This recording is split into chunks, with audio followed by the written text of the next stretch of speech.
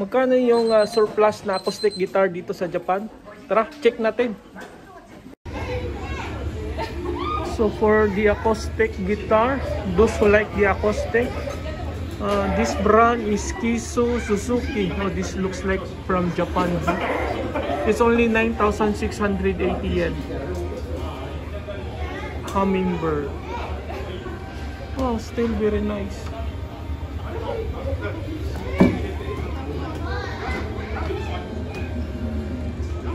Hmm. Let's check the sound. Oh, very nice. Very nice sounds. So, Suzuki brand, 9,680 yen. So this one is Yamaha. Yamaha, famous acoustic guitar. Oh, very nice. Price is 17,600 yen. Let's check this out.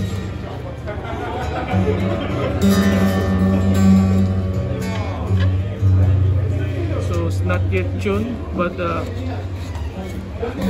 this should be very good sound. 17,600 yen. And we have here, this? Honey TV. First time to hear this brand. 5,280 yen. This is already very good guitar for practicing. Very clean. It's like new one but it's surplus. Honeybee. Honeybee. Why this honeybee?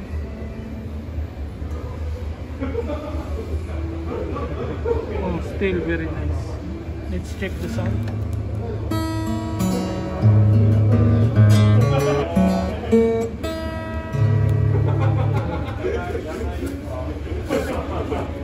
Nice.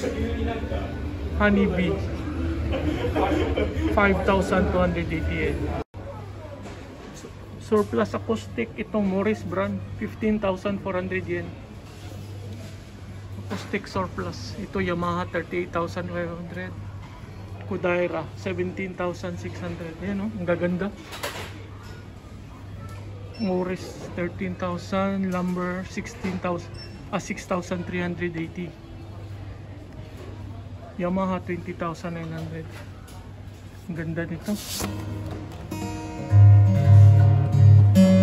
Ganda ng tunog oh. Ganda. Ito Yamaha. Pag Yamaha talaga ang gaganda. Oh. Ang ganda oh. Yung nabili ko dito na Yamaha, made in Japan talaga eh. Ang gaganda talaga nito. Yamaha. Oh, ang gaganda. Acoustic guitar. Surplus. Pero ang kinis, ang gaganda na surplus na to.